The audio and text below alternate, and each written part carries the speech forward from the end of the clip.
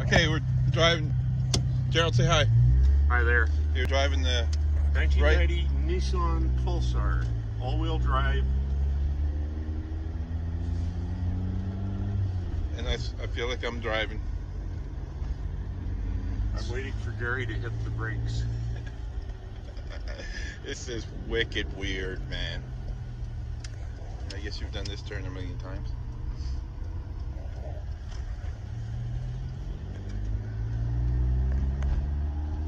Horsepower is what? Which somewhere between 235 and 260. It's insane.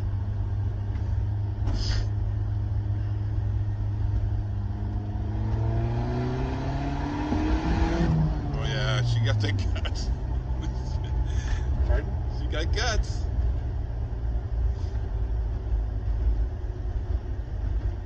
She's very tight. By the way, that was a second gear roll on. That's why she was tight.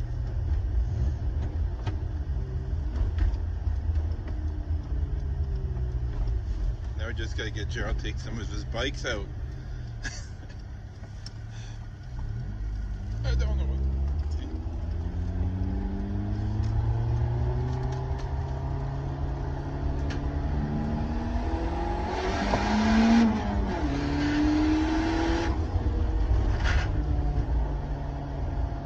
Got a little rubbing in the back or something, eh? No, loose Junk. spare parts. Oh, you got junk back there. Well, we hope the brakes are good coming down. Actually, they aren't.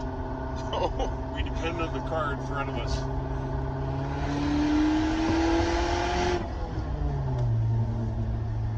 the thing I always like about standards is it keeps you busy.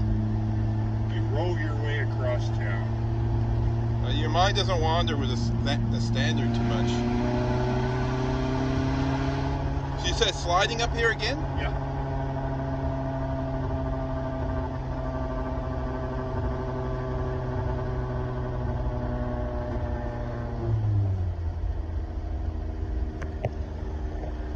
All our gauges are working.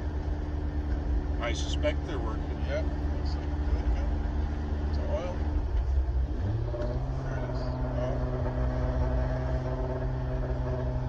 Oil temperature, oil pressure.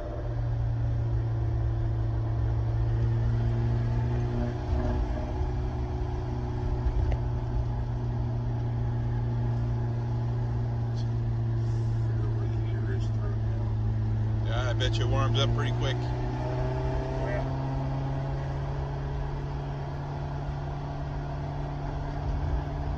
So your son's taking it to, is it Edmonton, yeah? he says he is. Yeah. I want to wait until the spring when he's got more money. He lives right in the city? Yeah. 100, 118th in Jasper. See, I won't take my Camaro up here because I don't like my brakes.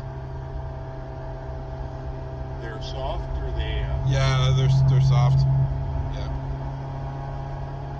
but not like old Camaros are any good anyway. Their brakes, unless you do that conversion, right? upgrade to uh, upgrade to, to disc. Yeah, which you know, if I oh keep yeah, it, this, this is what they've done. That's where it's sliding. Ah. And look, they've even put up an outhouse. oh yeah, that'll be used. Just second, your camera's in the way of the. All the yeah, I'm not used to this.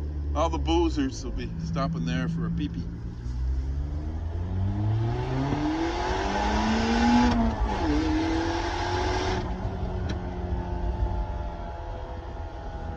We live right down there, right down there. We live right down there, or down there.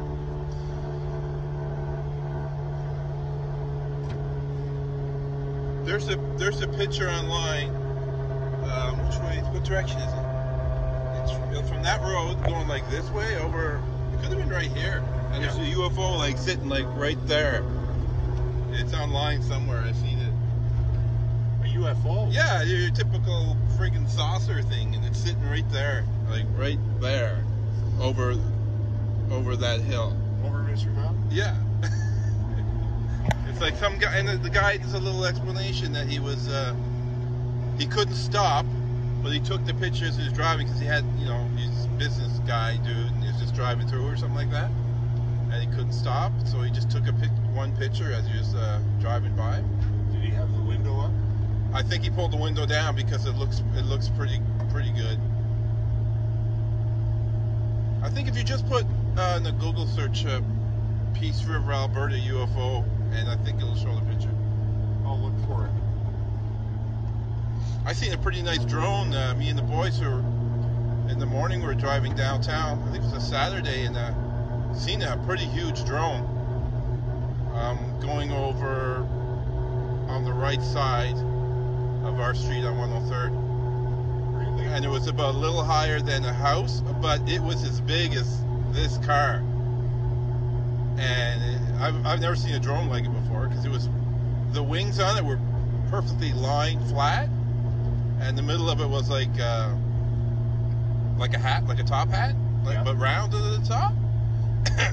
and uh, one of the boys spotted it first, and then then I saw it, and then it got, went by the trees there, and then I saw it again, and it was I've never seen a drone like it. It was pretty cool.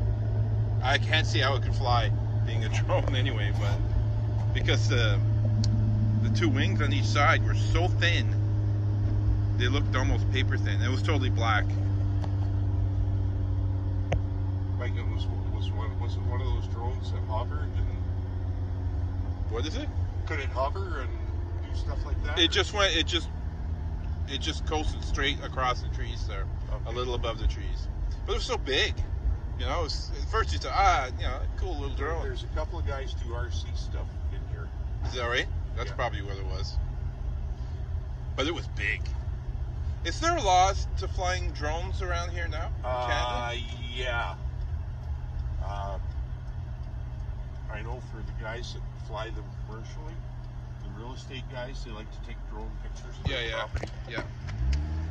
And they put that drone up right away, take you know, and right away take the picture, and they're down because if somebody phones in a complaint, uh, it's an unpiloted aircraft Oh, really?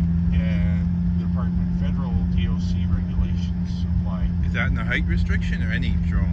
Uh, Because the kid, I got the like, kids. like, like he, I think the toy drones, I Yeah. don't think anybody's going to bother, but when you have like a three foot or four foot industrial type yeah, drone, yeah. and you fly over somebody's house, it's, you know, if you crash it into the house and the house burns down, uh, you, it's, Yeah, they're, they're pretty, quite large, eh? yeah, they can do a lot of damage.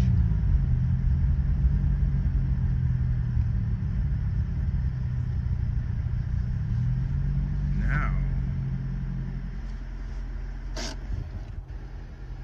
There we the go. Tire pressure lights. I got a low tire on the front. Hey, it's got an indicator for that? Yeah. That's pretty good for the back in the day, eh? This this was in 1990. This was uh, one of 4,000 cars made. It was so that the jet. It's a rally car, all-wheel drive, turbocharged, and the Japanese made 4,000 of them so they could have a production rally car. And there's a lot of these in Australia, of the 4,000, but there's not very many else in the world. They're they're extremely rare. So parts are hard. Uh. Parts are standard Nissan parts. That's good. Right now. The brakes are standard production Nissan brakes. You know the the, the, the calipers and the discs and all that stuff. Yeah, it's all standard. You just have to you just have to find the changeover number. The windshield. There's another Nissan windshield fits it, but I've yet to figure out which one. And the last surviving windshield for this car in Canada, I, I had it ordered and it was smashed in shipment. Oh my, yeah. And uh, common as well. like Whelan and All West Glass, he ordered it in, and when he got it, it came in bits and pieces. Anyway, I'm gonna All right, man. shut it off. I'm gonna take a quick look around it. eh?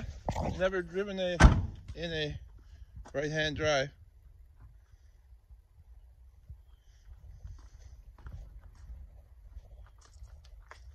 Don't you have two of these? Do you have two? Pardon? You don't have two of these, no.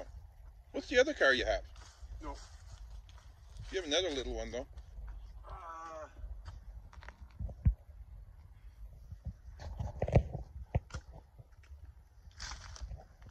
yeah, we Chris had a 90, 90 Skyline. That thing was absolutely brutal.